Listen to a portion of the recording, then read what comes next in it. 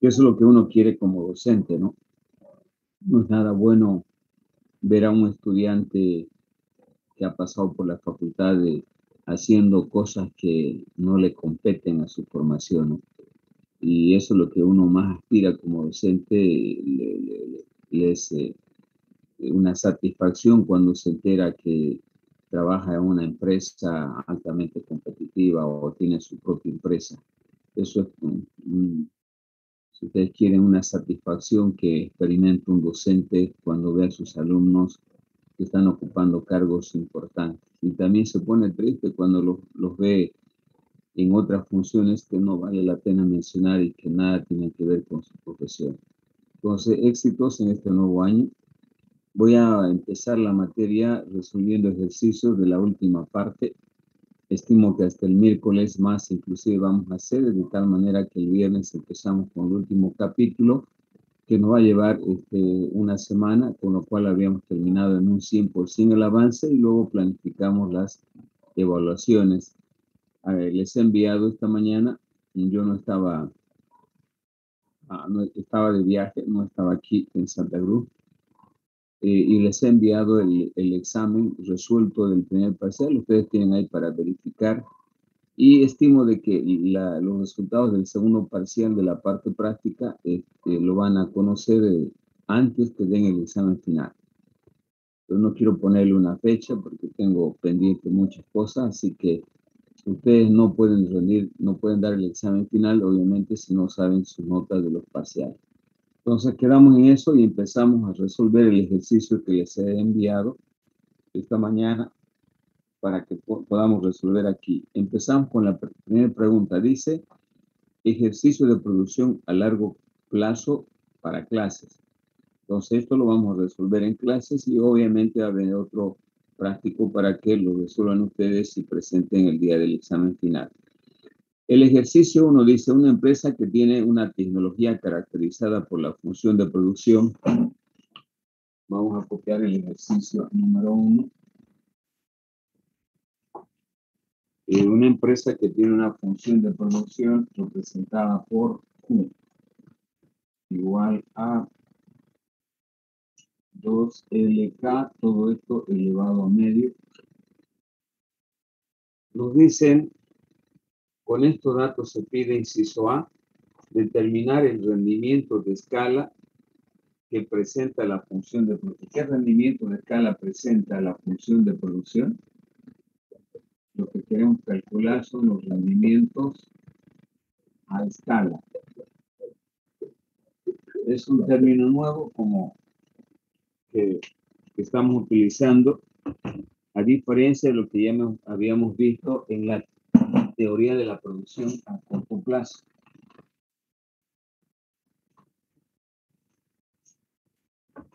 Bien.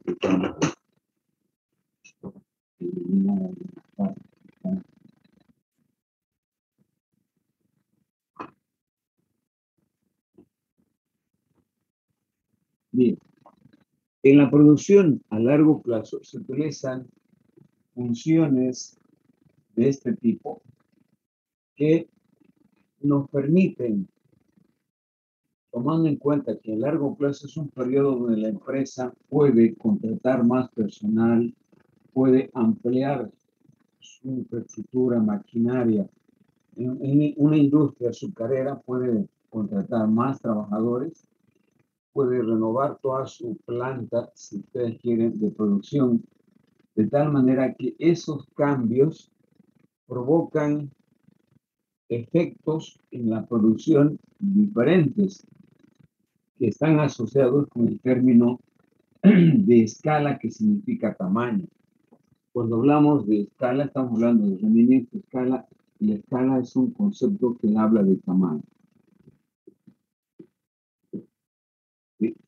Y el tamaño tiene que ver obviamente con el volumen de producción. Tamaño como sinónimo de volumen de producción volumen de producción. Entonces, en el largo plazo, las empresas cuando quieren aumentar los volúmenes de producción, lo que hacen es contratar más personal, ampliar su planta, construir mayor infraestructura Y ese efecto en la producción puede tener diferentes rendimientos. ¿no? El rendimiento a escala tiene que ver solamente con la producción a, a, a, corto, a largo plazo. Porque cuando analizamos la producción a corto plazo, ustedes se acordarán, en la producción de corto plazo, acá también hay rendimientos. ¿no? Este es un claro rendimiento creciente de la producción hasta este punto y a partir de acá rendimientos decrecientes. Pero no son de escala porque en, el, en el corto plazo la, la producción tiene un límite y ese límite me determina el, el, tamaño de la planta. En cambio, en largo plazo no hay impedimento. Yo puedo construir nuevas plantas de tal manera que la empresa experimenta a rendimientos de escala o el tamaño de su producción o también denominado volumen de producción va a aumentar de, va, va, a aumentar en función del tipo de la función de producción que experimenta. Generalmente este tipo de funciones que se utilizan en el análisis de la producción de un país o de una empresa se llaman las funciones Cobb-Douglas, que son funciones que en forma genérica representan volúmenes de producción y de utilización de tecnologías representadas por una constante A, eh, multiplicado básicamente por un L elevado a alfa y a una K elevado a beta donde A, alfa y beta son constantes mayores a cero. Entonces, en el largo plazo, como las empresas pueden modificar estos factores de producción a través del incremento de un porcentaje, por decir, aumento 10% del trabajo y 20% del capital, esta producción también se va a ver incrementada ¿sí? de una manera proporcional o no proporcional. Y eso es lo que analiza precisamente la producción a largo plazo, porque el tamaño de la producción va a cambiar. ¿no? Desde un punto de vista genérico, antes de solucionar el problema, este tipo de funciones denominadas en el análisis económico Cook Douglas, porque son estos dos señores los que lo desarrollaron, tienen que ver con funciones homogéneas con funciones homogéneas. Ustedes lo conocen bastante, las funciones homogéneas de grado 1. ¿Qué pasa con las funciones homogéneas? Eh, normalmente, en el caso de la economía, cuando se tiene una función una función f representada por q con sus variables clásicas L y K. Si yo agrego a esta función de producción para obtener una, un mayor volumen de producción, agrego a estos factores de producción una constante cualquiera. En este caso, una constante T por L T por K, lo que estoy haciendo es incrementar de una constante T el trabajo y una constante K. Entonces, este nuevo, este nuevo volumen de producción, que lo voy a llamar Q estrella, va a ser diferente a Q inicial o Q0. De tal manera que mi función va a ser de producción va a ser homogénea siempre y cuando se pueda factorizar esta T y sacar fuera del paréntesis. Es decir, en este caso, Q estrella vendría a ser igual a P elevado a un R. P elevado a un R multiplicado por la función de producción inicial. O esto mismo podría ser Q estrella multiplicado por TR de la función L, K, que eso es lo que muestra la función inicial. Entonces, esto me muestra el efecto que provoca el incremento de una constante T tanto el trabajo como el capital en la producción, obviamente no va a ser la misma producción. En este caso, G y R son constantes mayores a cero. Son constantes mayores a cero. Entonces, lo que esta, esta, este previo, esta previa explicación de funciones homogéneas que se utilizan muy a menudo, estas funciones homogéneas graficadas son las que estamos analizando. Estas curvas que son este, convexas, ¿no? que me están mostrando las formas de comportamiento de la producción. Y tienen que ver básicamente, por ejemplo, si yo estoy produciendo en esta Q inicial, Q0, quiero producir un mayor volumen de producción. ¿Qué tengo que hacer? Si estoy en este punto en equilibrio y quiero producir más, ah, tengo que incrementar más trabajo y más capital para llegar a, a producir esta cantidad. Pero en el largo plazo las empresas no tienen incrementos constantes, como en este caso. Si aumento el trabajo, eh, aquí era en junio, aumento en el doble, aumento el doble el trabajo, la producción también no siempre se va a ver incrementada en el doble. Puede ser mayor o puede ser menor. En ese ámbito, si R si R es mayor a 1, yo voy a tener rendimientos a escala crecientes. La empresa va a experimentar rendimientos crecientes. ¿Qué significa ello? Que si yo aumento el trabajo y el capital en una proporción determinada, la producción se va a ver incrementada en una proporción mucho mayor Dicho de otra manera más fácil, si el trabajo y el capital incremento, si el trabajo y capital incremento bien sé en, una, en un porcentaje, en este caso duplico, la producción también se puede ver duplicada si yo tengo un R igual a 1. A eso le llamo rendimiento a escala constante. rendimiento a escala constante. Pero si yo al duplicar el, trabajo y el capital experimento un volumen de producción mayor que el doble, voy a tener, tener rendimientos a escala creciente. Esto está explicado en la parte teórica. Si no me están entendiendo, tienen que revisar, tienen que analizar. Y finalmente tengo una tercera opción. Si R es menor a 1, la empresa va a experimentar rendimientos a escala decreciente.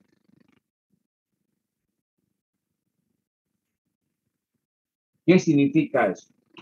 Si yo aumento, duplico el, el, trabajo y el capital, la producción no va a llegar a este nivel, posiblemente solamente llegue a este nivel. Y acá tenga que hacer un punto de tangencia. Eso significa, no obstante de haber duplicado el, el trabajo y el capital, la producción no se va a incrementar en la misma proporción. Entonces, esto me permite, obviamente, analizar esta forma de representar con esta constante T elevado a un R, el, la tecnología inclusive que se va a utilizar, que se supone de que cuando una empresa utiliza tecnología moderna experimenta rendimiento a escala creciente, siempre va a producir más de lo que producía. Pero puede existir que también la empresa solamente amplifique su producción utilizando más trabajo y no, no capital o tecnología. Ah, tendrá un, un incremento posiblemente eh, de rendimiento constante o en algunos casos decreciente por la baja productividad. Eso es lo que me están preguntando me, me permitido hacer este análisis, aunque está en los apuntes explicado, ¿no? Para que se le entienda cuando me dicen rendimientos a escala. Aquí le estamos llamando rendimientos a escala. Le llamamos a escala cuando la producción inicial se se ve incrementada a través de una constante T que me produce un mayor volumen de producción y ese volumen de producción puede tener, de acuerdo al comportamiento del exponente de la constante, tres tipos de rendimiento. Rendimiento creciente, constante o decreciente. Bueno, bajo esa explicación de funciones homogéneas en las que necesariamente esta constante T ¿no? debe eh, ser un factor común que se puede extraer fuera del paréntesis, como en este caso, si es un factor común que se puede extraer, obviamente puedo determinar fácilmente, en este caso, el, el tipo de rendimiento que va a tener mi empresa. Entonces, para ello, una vez que hemos hecho esta explicación, ahora vamos a responder a la primera pregunta. Esta función que me dan como dato Q igual es como si esta, este 2 fuera la T.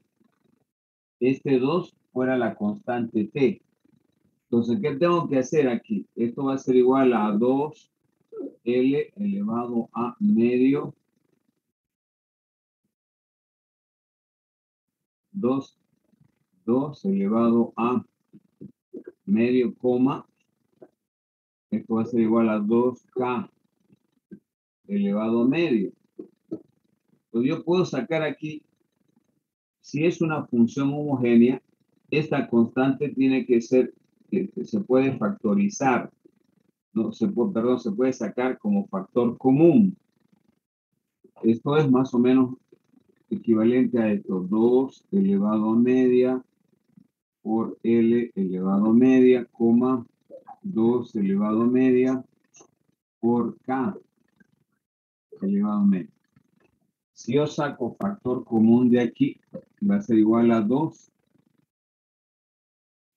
2 media más media, porque estos dos están elaborados elevados a la media por L media y K media. Y si sumamos esto, vamos a tener 2 elevado a 1. ¿sí? Por lo tanto, mi nuevo nivel de producción Q estrella va a ser igual a 2. Simplemente voy a volver a la situación inicial. 2 por L medio por K medio. Y 2 está elevado a 1. Se supone que el exponente de, este, de esa constante 2 es 1 por esta sumatoria.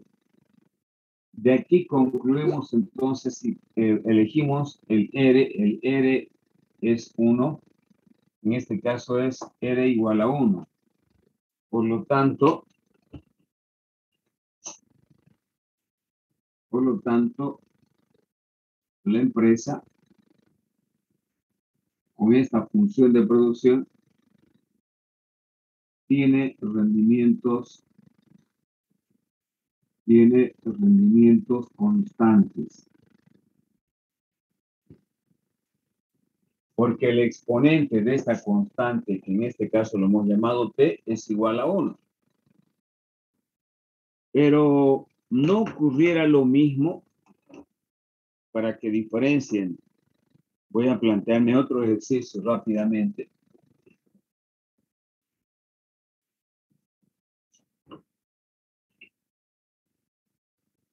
Por ejemplo, si yo tengo una función Q elevado igual a L2 K05. Obviamente, por analogía, esta, eh, esta función de, voy a, utilizar, voy a utilizar acá, como no hay una constante, voy a utilizar esta, esta Q estrella, que va a ser igual a, bueno, si esta Q le multiplicamos por una constante T, por ejemplo, T, eh, TL, TK, esto vendría a ser T L elevado al cuadrado o coma de K elevado a 0,5. Lo voy a sacar factor común. En este caso T, mi nueva función de producción va a ser igual a P T elevado a la 2.5. Estoy sumando los exponentes, ¿no? De L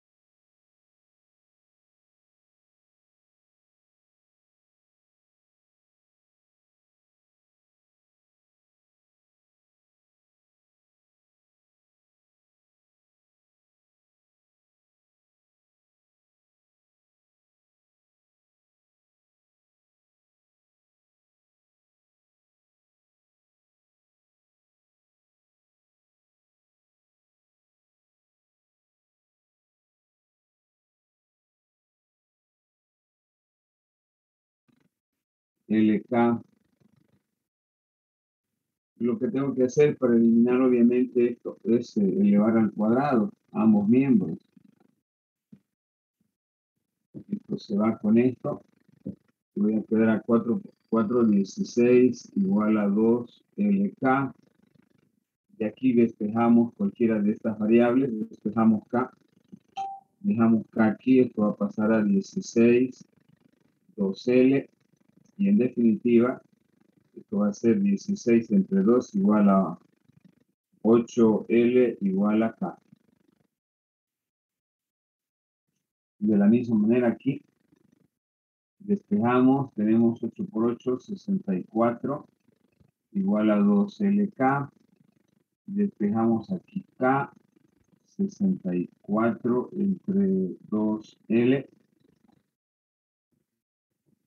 la mitad 64 entre 2 es igual a 32. L igual a K. Listo.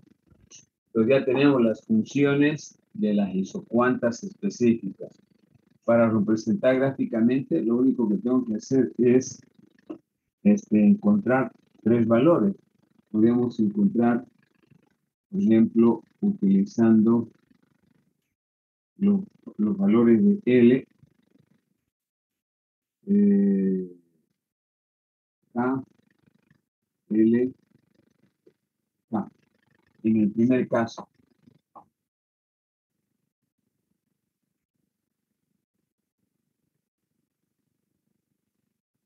para el primer caso, para la primera función, puedo utilizar valores de 2, 8 entre 2, 4. Puedo utilizar 4, 8 entre 4 a 2 y puedo utilizar 8. 8 entre 8 a 1. Puedo utilizar mismos valores de L. ¿Mm? Eh, para, la, para esta. O sea, 32 entre 2, 16. Puedo utilizar el mismo valor 4. 32 entre 4, 8. Y finalmente 32 entre 8, 4. Eh, esas son las tres combinaciones mínimas que debo tener para, en este caso, la función 1, la función de producción A y la función de producción B. acá tienen A y acá tienen la función B.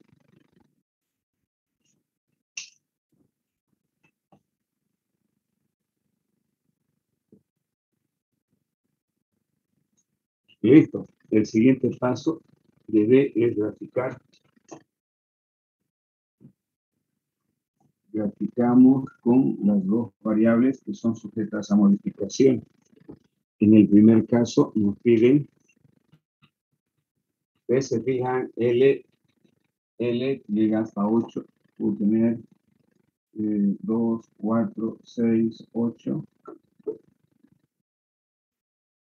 Y K, el valor más alto es 16. 1, 2, 3, 4, 5, 6, 7, 8.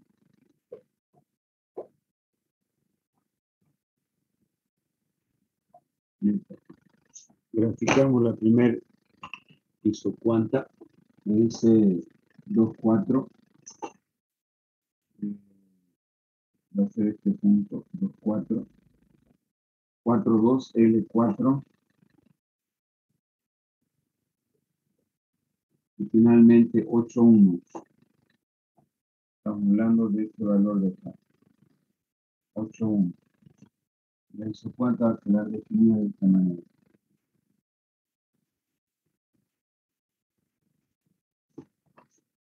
Y la segunda, L2, K16, 4, 8, 4 y 8 de K. Finalmente, 8 de L y 4 de K.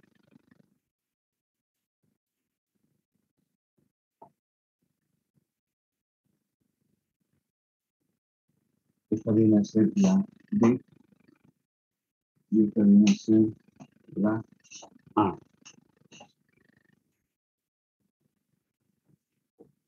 Bien, entonces esas son las dos isocuantas con esta misma función de producción de Cobb-Douglas. Como pueden ver, son curvas convexas, que son las más comunes de isocuantas que se utilizan. ¿Alguna pregunta hasta aquí?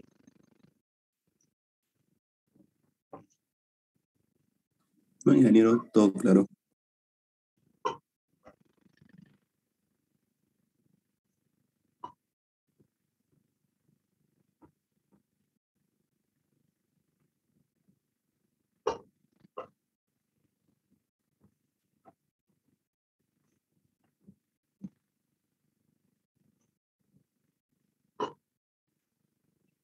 El inciso C. En C nos dicen si el precio del factor trabajo es 2 y el precio del capital también es 2. Eh, hablamos de función de costo. Dice el precio del trabajo por la cantidad de trabajo más precio del capital por la cantidad de capital.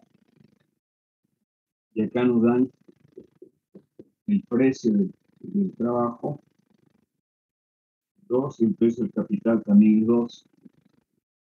2L más 2K. Eh, donde Q presenta la cantidad producida, o no. Calcular la función de costo total, esta es la función de costo total.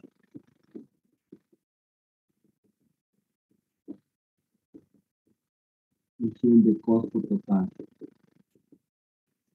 El isocosto también se llama, ¿no? Bien, eh,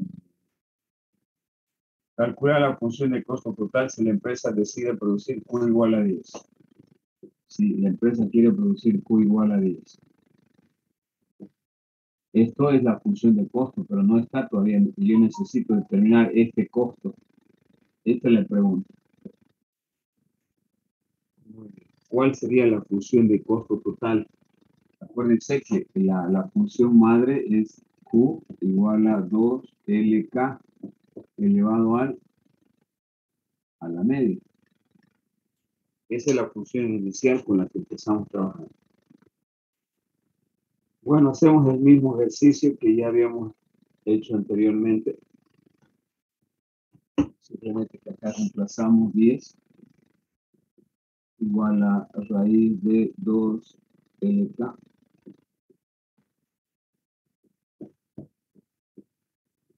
Esto va a ser igual a 100.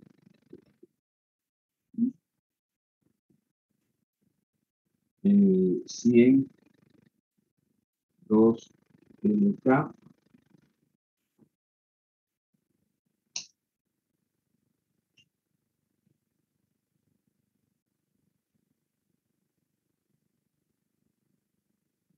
Luego,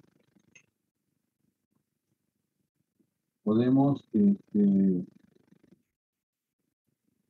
utilizar este valor de,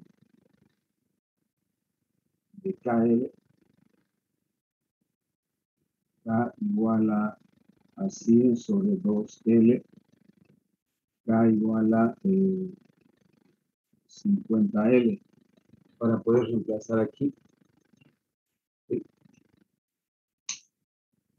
esta es una una forma de determinar. Sin embargo, aquí es como la teoría, la teoría del consumidor, uno tiene que ver más o menos qué puede obtener este, de, datos, ¿no? Yo, yo, tengo un dato acá y puedo reemplazar en, en, en la función de costo total. Estoy buscando este valor. Sin embargo, hay otra opción que es mucho más práctica. Tengo que partir del concepto de equilibrio o de maximización de la producción a largo plazo. Al igual que en la teoría del consumidor, la producción se maximiza cuando el isocosto, esta función es tangente a una isocuanta. Acuérdense que en este punto de equilibrio, la tasa marginal de sustitución técnica es igual a n. La tasa marginal de sustitución es igual al producto marginal de L sobre producto marginal de K. Igual a precio de L sobre precio de K. Puedo, lo que estoy queriendo obtener es esta función de costo. Entonces, para ello puedo determinar los valores de K y de L. Como tengo los precios, reemplazar acá. Esta es la otra posibilidad. Este es un trabajo mucho más complejo, este es mucho más práctico. Entonces yo puedo obtener el producto marginal. Acá tengo, fíjense, de aquí tendría que sacar el producto marginal, que viene a ser la pendiente de esta isocuanta.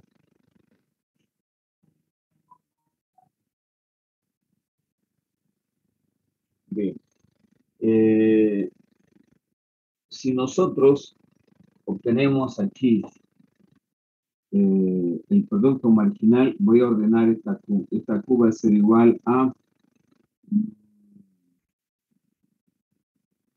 2 medio por L medio K medio.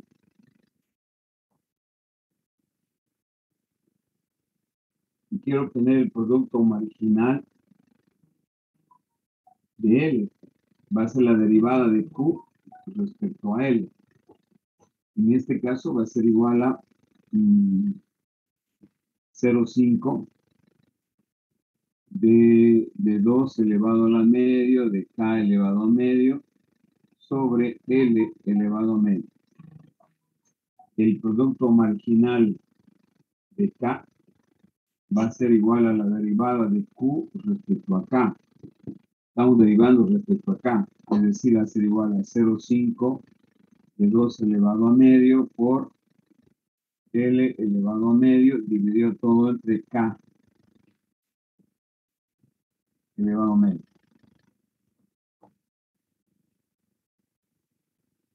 Entonces lo que hacemos es simplemente utilizamos esta igualdad, producto marginal 0,5 de 2 elevado a medio por K elevado a medio dividido entre 0,5, 2 elevado a medio por L.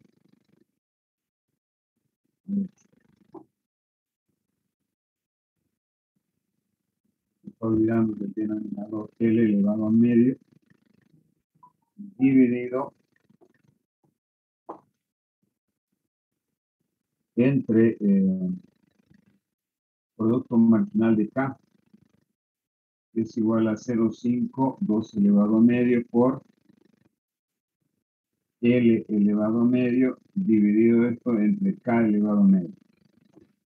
El precio del trabajo tengo como dato 12 entre 2. Multiplicamos extremos con medios. Seguimos acá. vamos a tener K 0,5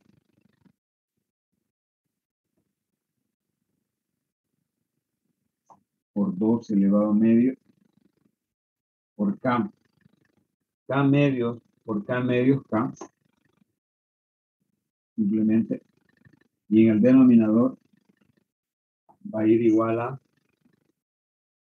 0,5 0,5 por 2 elevado a medio.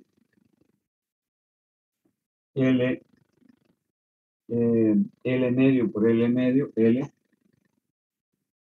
igual a 1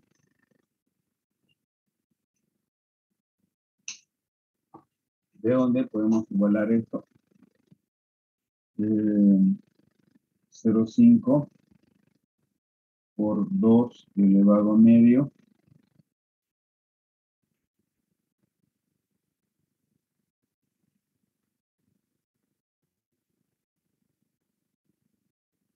cero cinco por 2 elevado a medio por K va a ser igual a 0,5 por 2 elevado a medio por L. Despejamos acá despejamos de acá eh, estas, estas dos constantes de aquí. Vamos a tener 0,5 0,5 por 2 medio por K igual a L dividido entre 0,5 por 2 elevado a medio. Esto se nos va porque es lo mismo me va a quedar que K es igual a L. K es igual a L. Muy bien. Entonces, lo que voy a hacer aquí es eh,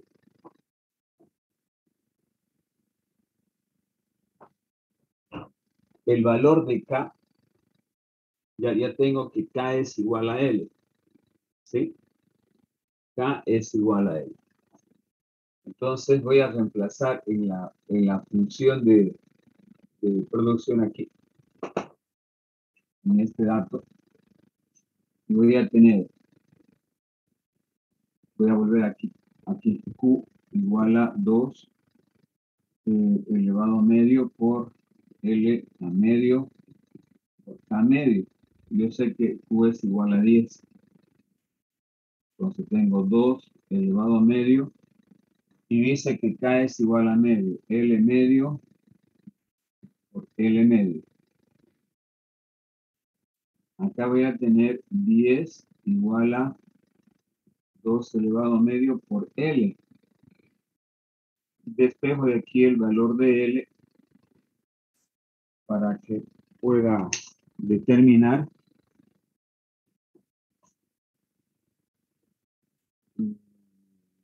Ahí está con calculadora. Para que me dé este valor. 2 elevado a medio dividido entre 10.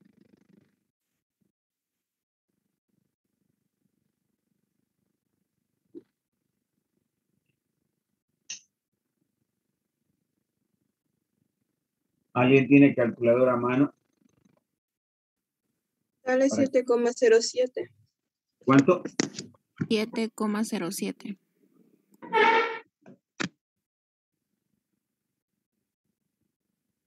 Bien. Entonces, este, este es el valor de L. Como, como K es igual a L, entonces K también va a ser el mismo valor, 7.07. Hasta aquí no he encontrado todavía. Ahora sí voy a encontrar recién la respuesta. Para encontrar la respuesta voy a buscar esta partecita. Ya encontré el valor de ambos. Lo único que voy a hacer es determinar el costo total, porque es lo que me piden. 2 multiplicado por eh, 7007 más 2 multiplicado por 707. Costo total es la suma de esos dos valores. 7.07 por 2 por 2, 28, 28.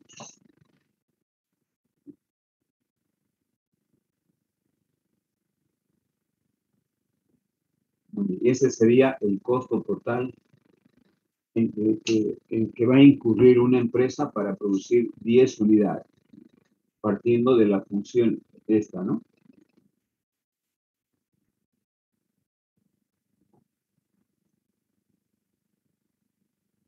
No sé si hay alguna pregunta.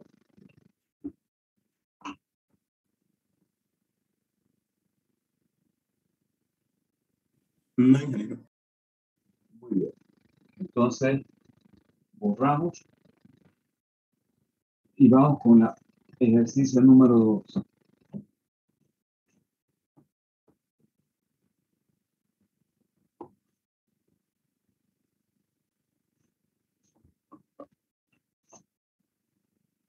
Ejercicio número 2. ¿Qué nos preguntan en 2? Eh,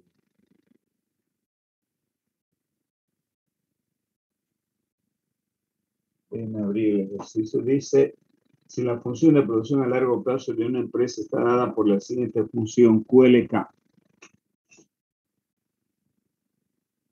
Q igual a LK. donde Q representa la cantidad producida y L y K los factores de producción variables utilizados se pide. Inciso a determinar eh, la producción, determinar las unidades de trabajo y capital, cuánto de trabajo y cuánto de capital va a utilizar la empresa para maximizar la producción si quiere incurrir en un costo de 180, unidades monetarias y cuando el precio de los factores de producción son 10 y 20. 10 de L más 20 de K. Bien, lo que nos piden es, en este caso,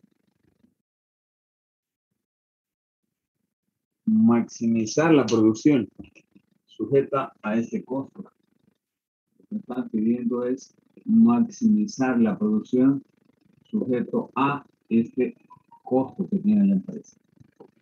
Para ello nos dicen, para maximizar la producción, cuánto va a utilizar de trabajo y cuánto de capital.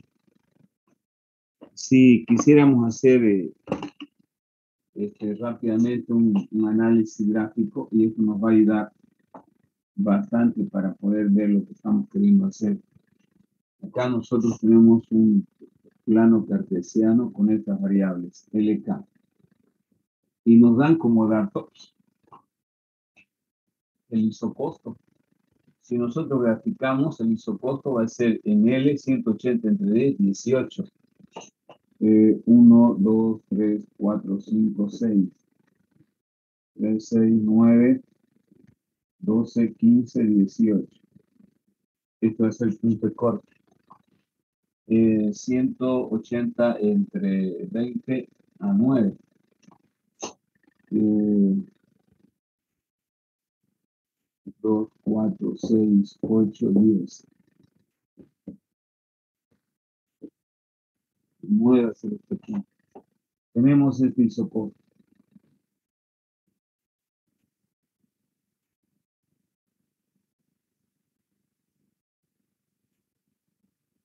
es el isocosto.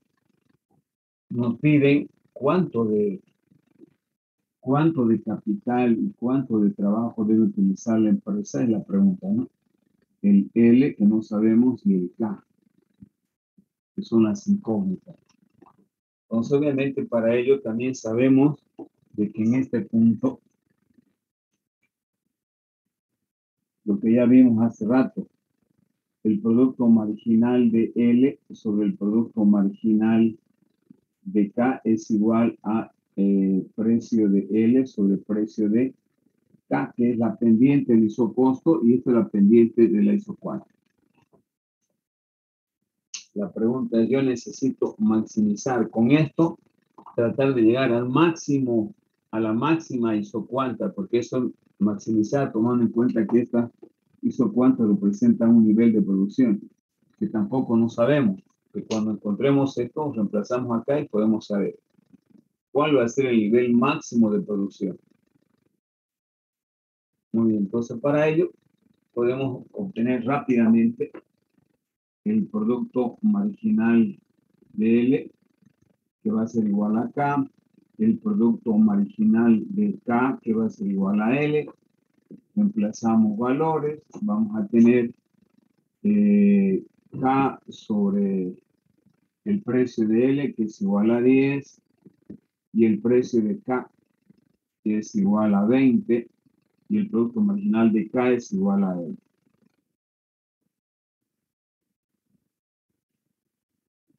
A ver, si ustedes quieren, vamos a seguir esto de acá, pues lo mismo que, que puse acá. Producto marginal de L es igual a K.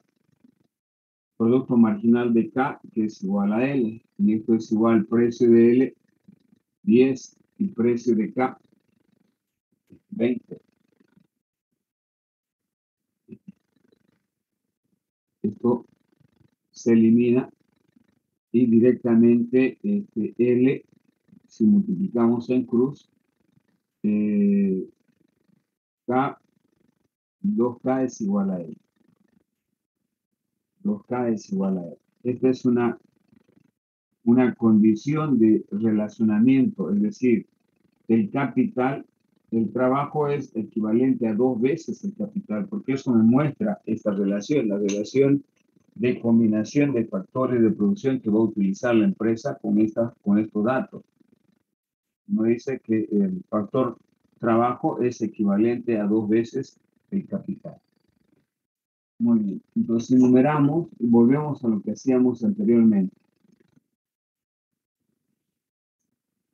3 voy a reemplazar en 2 reemplazando valores, 3 en 2, vamos a tener 180 igual a 2 eh, por 2K, porque L es igual a 2K más 20K.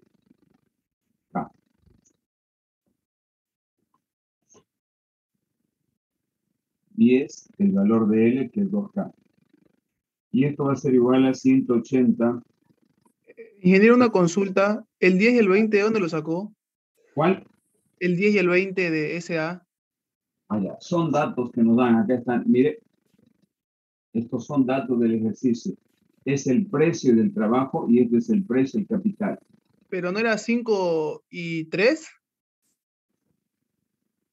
A ver, voy a volver a fijar.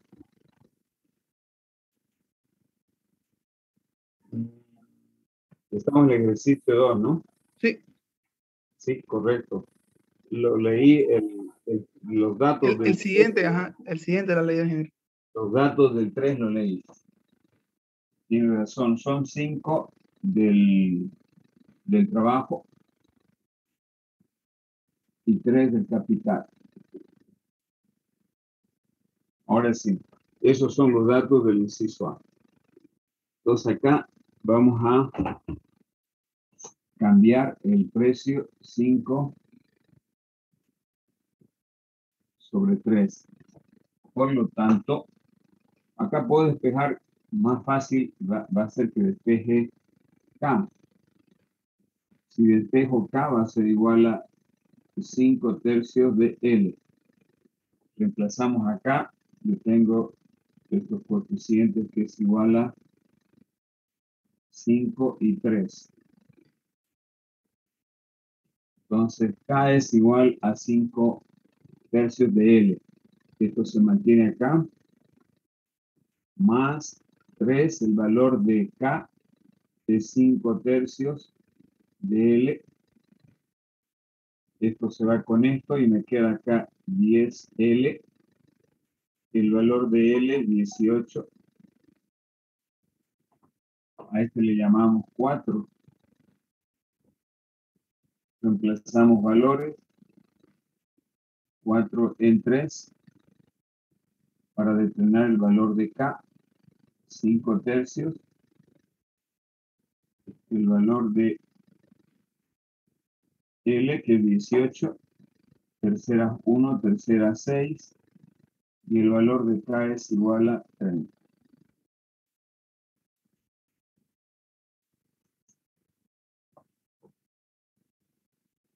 Bien. Ahora, con estos datos nosotros podemos determinar el valor de K. Perdón, el valor de Q, que es igual LK, que va a ser igual a 18 por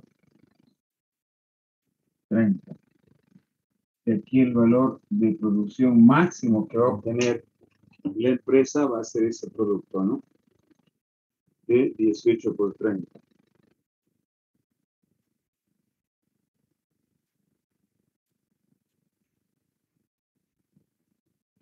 cuarenta unidades.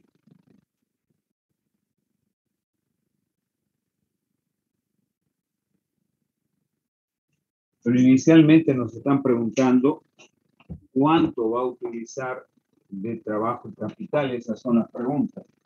Entonces es la respuesta, ¿no? La respuesta al inciso A. L18 y K igual a 3. Sigamos viendo qué, qué nos pide más. Además, en el inciso B nos dicen indicar el nivel de producción obtenido, este es de respuesta B. El nivel de producción obtenido son 540 unidades. C, graficar el equilibrio. C, graficar el equilibrio. Entonces vamos a primero este, graficar el equilibrio, acá tenemos los, valores van a ser diferentes, pues, ¿no? Primero vamos a dividir para saber el corte en L. vamos a dividir 180 entre 5, que es igual a 36. 9 por 4, 36. Mm.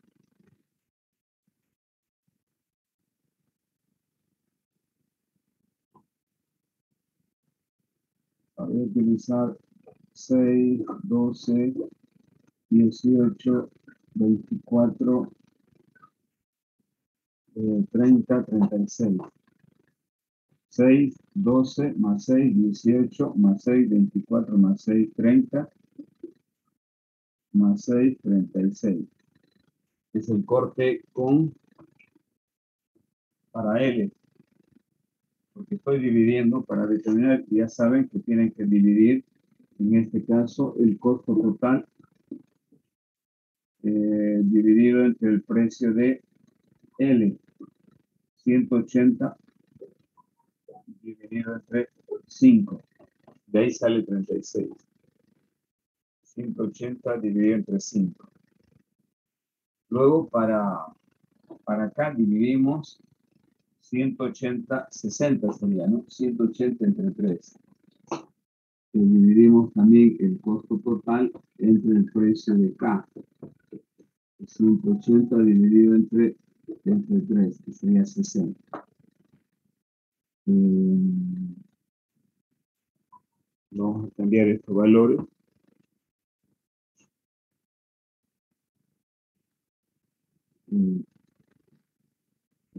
10, 20, 30, 40, 50, 60.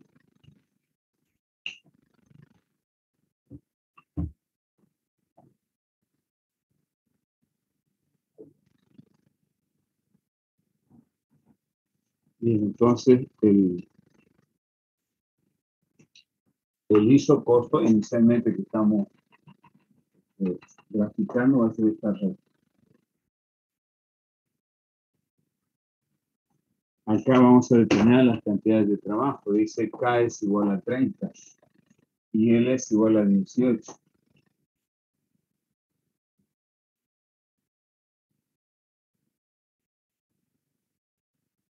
No, hecho, mi, mi, el resto está muy, muy pegadita.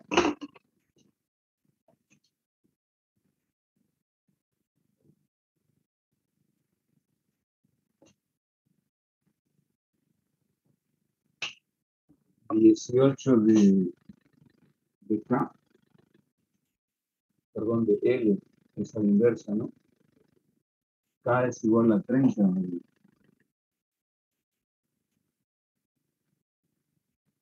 K igual a 30 y L igual a 18.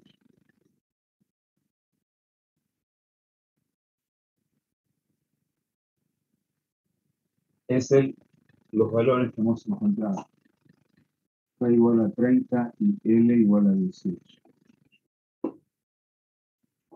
Bueno, podemos, conociendo, en este caso, el valor de K, tenemos 540 igual a LK. De acá despejamos K y vamos a tener 540 entre L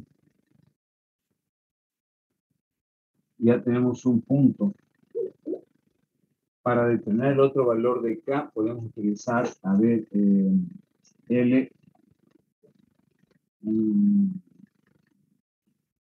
vamos a utilizar L40. Si L es igual a 40, entonces K va a ser igual a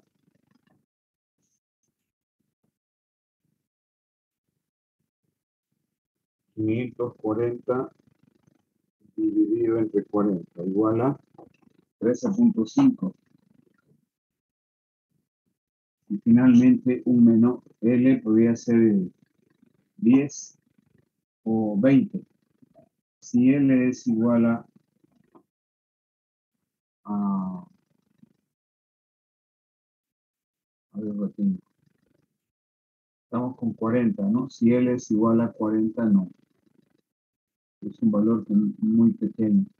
Voy a tomar entre estos valores de L para que sea más exacto. Los, próximos valores de L pueden ser, en este caso, un 12, 12 y podría ser 30. Empecemos con 30. Si L es igual a 30,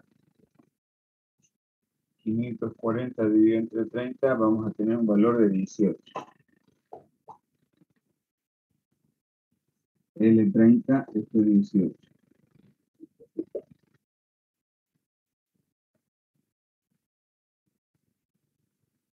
Dieciocho de K y L igual a 30.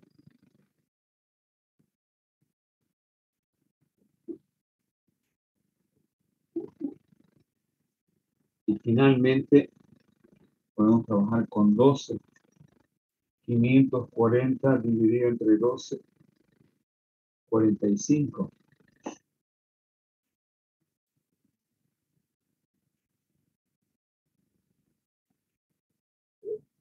Vamos a tener esta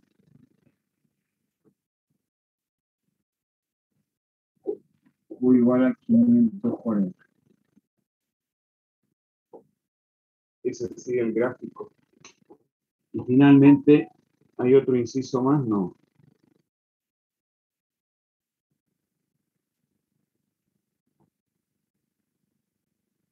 Solamente hasta el inciso. Ah, no, hay uno más. Graficar el equilibrio de la tasa marginal en este punto equilibrio. Tasa marginal de sustitución técnica en el punto equilibrio.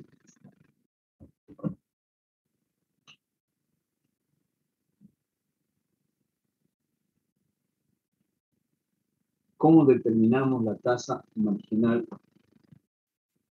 Acuérdense que la tasa marginal tiene varias definiciones y eso obviamente tiene que manejar.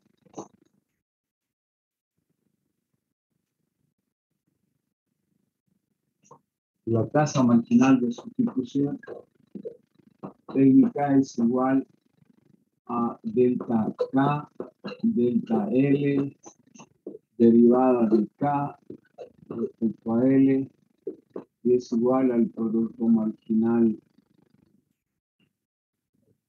de L sobre el producto marginal de K. Son todas estas relaciones. Pues yo tengo la función de producción Q, que es igual a LK. Ah, y tengo que el valor de Q es igual a 540, igual a LK. Entonces, este, lo que yo puedo hacer es eh, encontrar la derivada la derivada de K, a partir de acá, despejo K, que va a ser igual a 540 eh, entre L, y aplico la derivada de K respecto a L, que va a ser igual a, a una constante sobre una variable, va a ser igual a menos la constante sobre la variable elevada al cuadrado. ¿Y cuánto es L en el punto equilibrio? Entonces voy a tener acá menos 540 sobre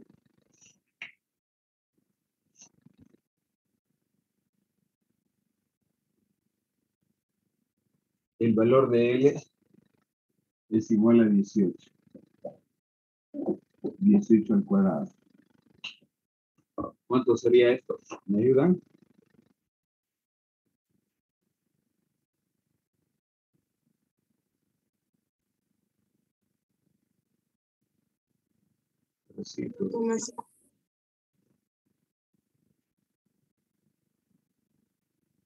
Unos, unos 67, ¿no?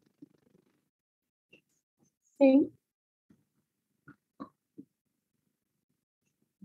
menos 1,67. Esa sería la tasa marginal de sustitución en el punto de equilibrio. Estoy hablando acá en este punto. O la, la tasa marginal de sustitución de esta curva convexa no es constante, ¿sabe? En este punto puede ser diferente, en este punto puede ser diferente. Yo estoy calculando en el punto de equilibrio y estoy utilizando esta fórmula que también podría haber utilizado el producto marginal, pero ya lo hicimos, ¿no? Para no volver a repetir.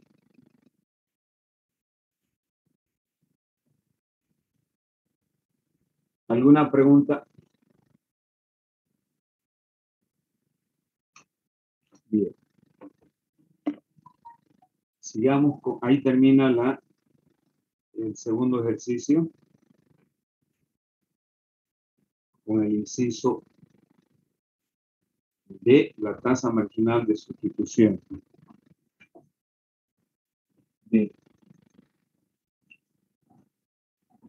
Ahora vamos con la, ahora sí con la tercera. Tenemos todavía tiempo, ¿no? 12.41. Empecemos con el ejercicio número 3.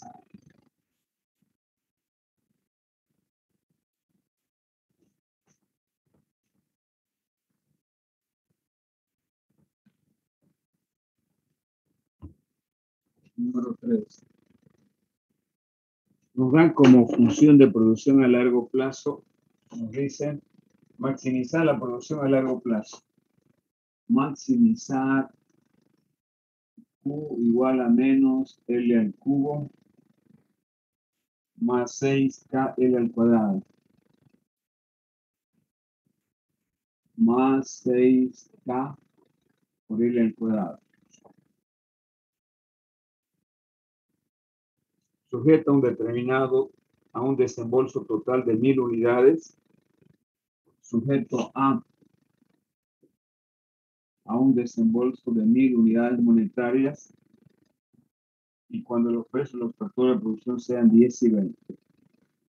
10 y 20.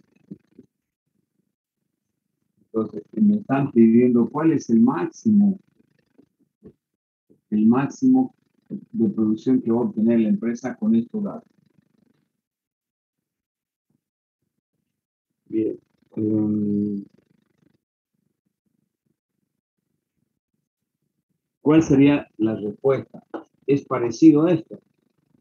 Siempre tienen que partir que la empresa va a maximizar en el punto donde las pendientes,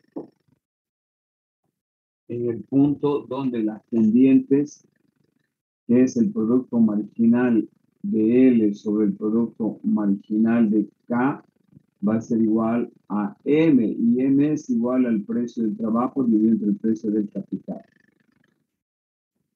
Ahí está maximizando, en el punto de equilibrio está maximizando una empresa. Bueno, en este caso me dan el desembolso total, si yo grafico, voy a tener una, una isocuenta de este tipo, ¿no? Pero ya han visto cómo, cómo se parte de este supuesto que es importante. El maximizar implica el punto de equilibrio. Entonces encontremos el producto marginal de L, que es la derivada de Q respecto a L, y el producto marginal de K, que es la derivada de Q respecto a acá derivamos esto, vamos a tener menos 3L cuadrado más 12KL. Eh, Luego derivamos Q solamente respecto a acá. Respecto a acá va a ser igual a 6L cuadrado.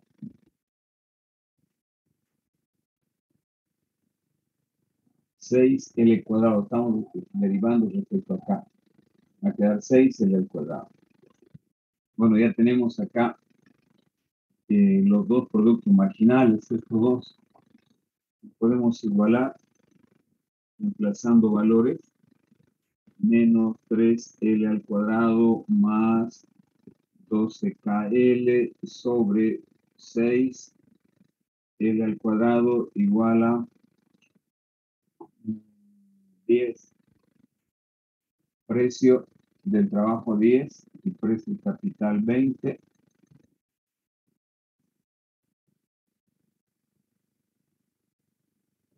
Y esto va a ser igual a, multiplicamos en cruz, 2 menos 6 L cuadrado más 12KL igual a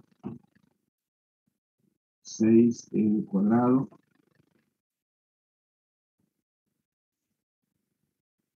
Esto va a ser igual a, si paso al otro lado voy a tener 12KL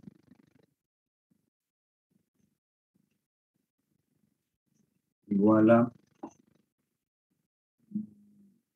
12L al cuadrado. Despejamos de acá va a ser igual a 12 L al cuadrado sobre 12 L. Porque acá estoy dejando solamente K.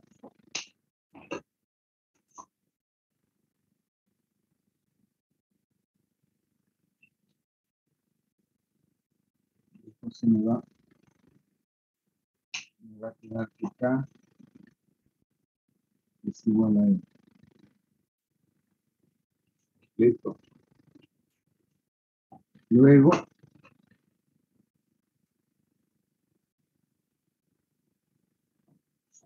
saben que esta es la función 1, esta es la 2 y esta es la 3. Voy a reemplazar para continuar el ejercicio. No. Adelante. Eh, ¿Por qué es 12KL? de acá. Cuando... Eh, ¿No multiplicó 2 por 12 también? Ahí arriba. Vamos a ver, eh, sí. 2 por 3, 6, 24. 24, ¿no? Sería un medio de L el resultado de K. Sí. Por eso, a ver, eh, estamos acá.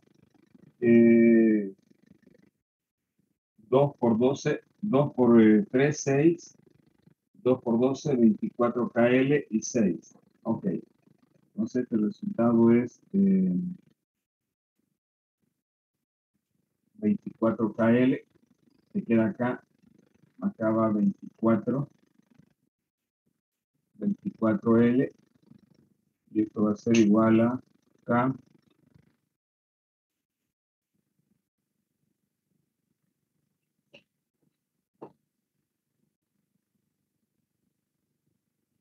Tres. Entonces, reemplazamos valores. Reemplazamos valores 3 en, en 2. Tenemos acá 1000.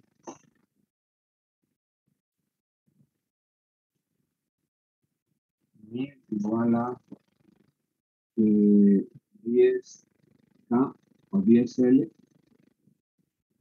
más 20 el valor de K es igual a L medios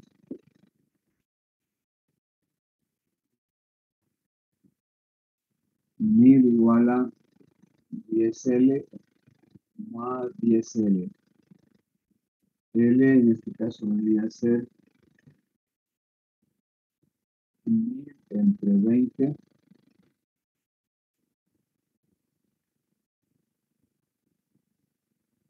el valor de L vendría a ser 50, ¿no?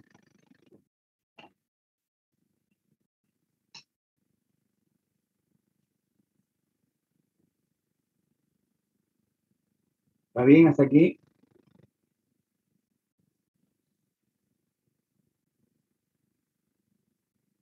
Sí, ingeniero, está bien. Sí, ingeniero. bien. Ahora, como sabemos que el valor de K, como K es igual a L medios, entonces K va a ser igual a 50 entre 2, igual a 25, y K va a ser igual a 25.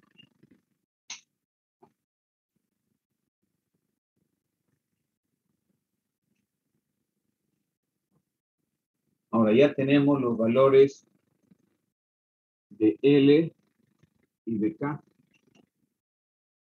Lo que queda es, nos dicen maximizar Q. Entonces, lo que tenemos que hacer es encontrar el valor de Q. Es decir, eh, multiplicar a menos L es 50 al cubo menos 6 por K que es igual a 25 y por 50 al cuadrado. Alguien que esté con máquina, por favor.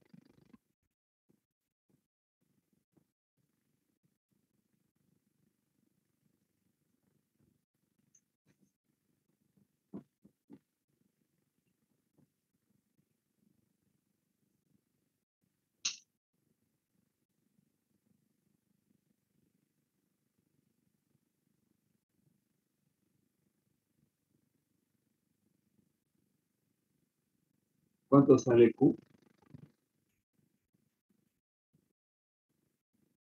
250 mil. 250 mil. Es el nivel de producción máximo que va a obtener la empresa utilizando este desembolso o este costo de producción.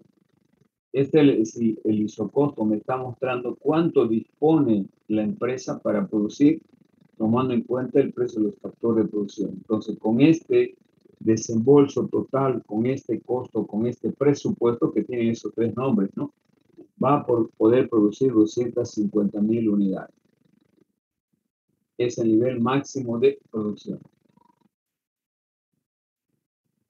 Muy bien. Continuamos la próxima clase. Nos faltan el 4, 5 y 6, si no me equivoco. Más el 8, son 8 ejercicios. Muy bien. Quedamos acá, chicos. Nos vemos en la próxima clase. Activen su cámara para hacer la asistencia.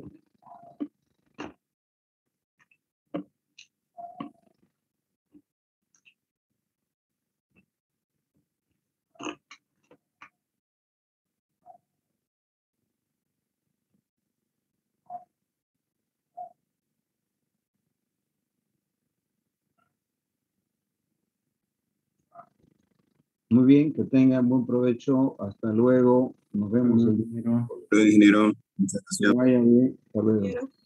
Hasta luego.